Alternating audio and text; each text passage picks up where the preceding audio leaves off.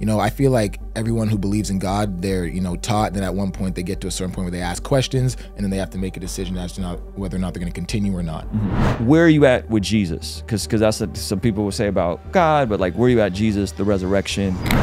Bruce Lawn. What do you think there is, if if you had to take a, a guess, like at the industry, right? What do you think there is about Hollywood, media, entertainment, hip hop that has this dark element to it, where basic stuff that you said, this basic stuff we did in basketball, bro, but you hear about these other artists that are like, "No, man, you can't tell me," you know, and getting kicked off the tour or leaving the tour. What do you think that is about that that scene? That that just seems like it's it's like the upside down. Like it's just we're, some stuff is just backwards. Right. I think um just the idea of standing on a stage and having people like, you know, watching you while you're up there. Yeah. It's very like it's it's not normal. Yeah. Even just like, you know, having a phone to your face is not normal. Yeah. And I think a lot of it like like there's an escapism where it's like you wanna you wanna get away. Like you don't wanna actually mentally fully be there because not only is it like nerve wracking, you know, mm-hmm. you're nervous and all these things. Yeah. So it's like you end up doing substances to escape mm. Yeah. you know, from the reality, even though the reality is like, you know, quote unquote, it's dope. Yeah. But you don't want to just like be there sober. Mm-hmm. You know, it's like, you know, when you go to the club, you're just gonna like I remember like when I was uh trying like I went to the club a couple times back when I used to go out. I was like, man, let me just try like not drinking here. And I'm like, yo, this doesn't this doesn't even make sense. It's not as cool when you're not drinking. Yeah. doesn't, it literally you look around Music's too loud. You can't you're really have a conversation. Right. Like what's what's really like so I think it's almost like that in the music stuff because there's, you know, everything's such easily accessible, but without anything like Yeah. altering your brain, you almost start looking at it like, Yeah. wait, hold up. Yeah. Do you think there's anything going on in the in the supernatural, in the spiritual realm of just the the the scriptures talk about like there's the prince of the air. Mm. You know what I mean? Do you think have you seen some of that kind of stuff?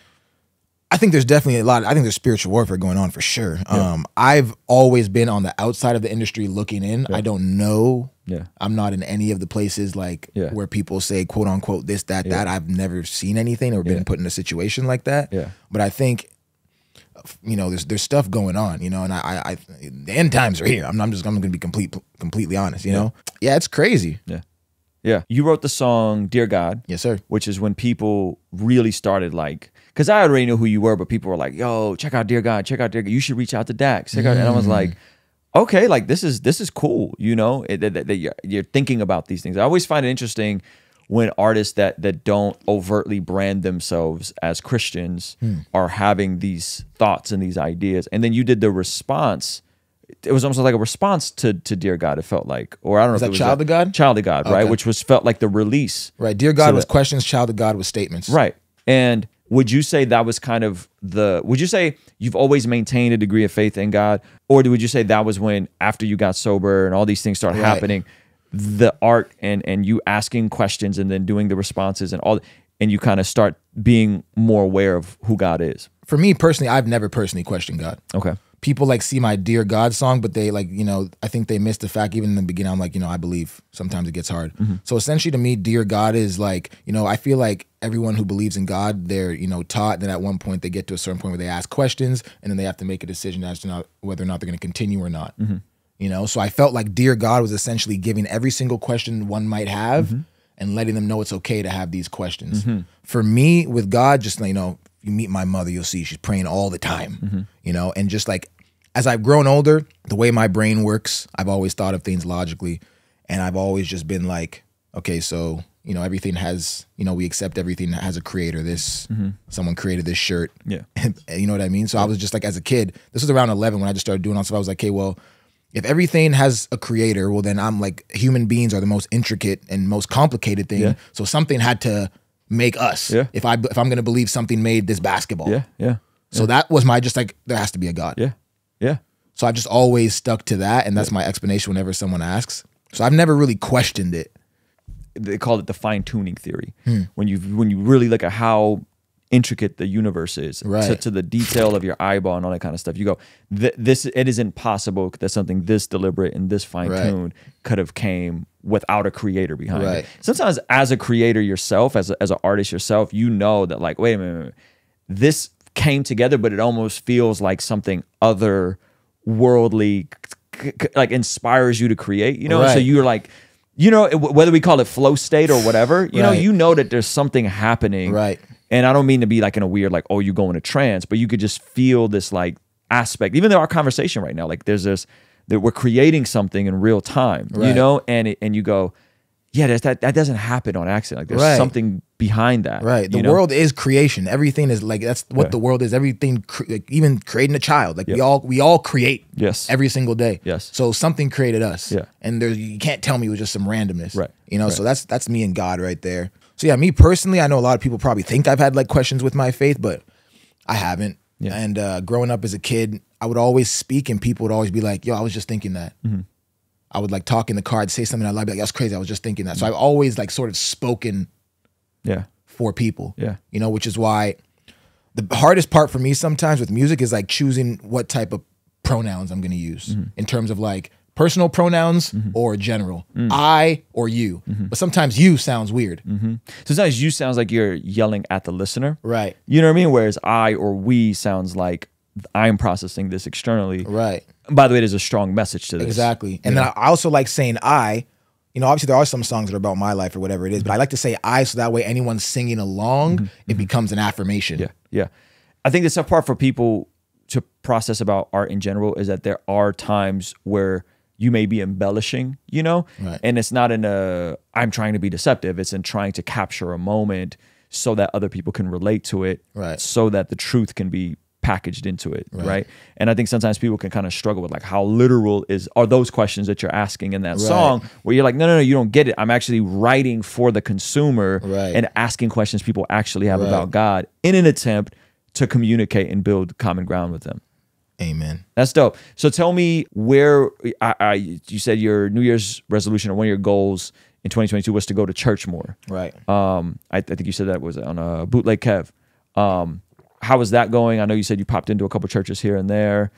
Yeah, it wasn't I mean, I went to Churchome. Churchome, yeah. Shout out to Judah. Judah, Smith. right? So I went there. So I, I accomplished that goal in 2022. I think I only you went once? I think I went twice. Okay, twice. That's, hey, that's a start, baby. I'll take it. Let's go. I'm not I'm not in LA all the time. You know what Yeah, I mean? So you know, I hit that. yeah. Um, that was great. Haven't been yet this year, but Yeah. I will.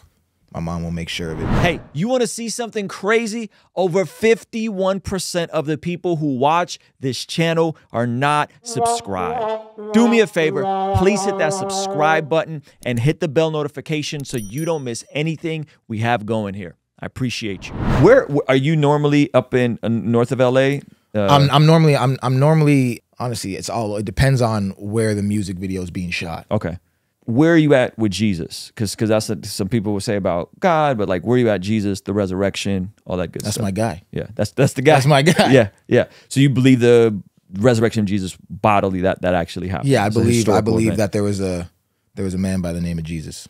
Did did he die for your sins and Yes, rise from the I grave? believe all that, Yeah. yeah.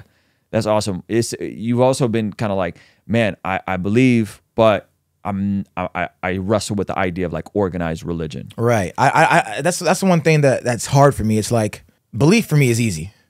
You know, I don't I, I don't like the fact that you know, you know, there's ten thousand different religions. Mm-hmm. So essentially, you know, it's the game of telephone, and if one religion doesn't necessarily fit to the confines of what you may think is right or wrong, you're going to alter it mm-hmm. and create your own, which is why there's so many. Mm-hmm. So that's the only thing I struggle about with religion Yeah. Is that it's like it, it is man it's it's man made at this point because there's so many different man made Mm-hmm. religions, you know, and Do you think that's what kind of prevents you from wanting to to press deeper into church and community and being around more more more followers of Jesus? not necessarily. I've always just you know I just I really don't go out that much, you know, Yeah. but like I I like church, you know, Yeah. especially like you know Judah's a great speaker. I tell I tell him I tell him all- I'm like yo. What you're saying is actually dope. Like I actually like listening. Yeah. You know, I grew up in Catholic church where it was like, you know, Yeah, Father yeah, yeah. Frank, and it was like, he's like, hey, bro, how long is this? I'm trying not to pass out during Yeah. the, you know, the 20 minute like Yep. sermon part. Yep. Yep. So, you know, like I like I like hearing dope content be spoken to me because I like to learn from it. Yeah. Well, you're also thinking of it from a creative standpoint as Right. well, right? Because you're like, oh, okay, like, oh, that story hits. Right. You know what I mean? I'm, I'm, I'm, the same way where, you know, and, and I could do this. I've, I've done this to a fault where I can just become like a, a preacher junkie. Like I'll like dive deep. You know what I mean? But that, Mm. That's not always helpful either. Cause Right. like that you're supposed to take it and apply it and implement it into your Right. life, you know? That's awesome, man. I, I, I- I'm, I'm excited to see like where all of this takes you. You know, I'm I'm excited to see you more be be more overt about your faith online. I feel like I've seen it just just from the the window we've been following each other on Instagram. Like I feel like even just in that window, I see you be more and more overt. And I don't know if that's intentional or not, but even in the music stuff, it seems like hmm. you're you're so vulnerable in the art, you know. But I feel like you saying these things, I think, is going to help a lot of these kids that are like they they need they need to think about this in a different way, and it may not come from a Christian rapper, and that's not, and that's no di- or it may not even come from someone like me, you know what I mean, that makes overtly Christian content. It may be hmm. like you're the on ramp.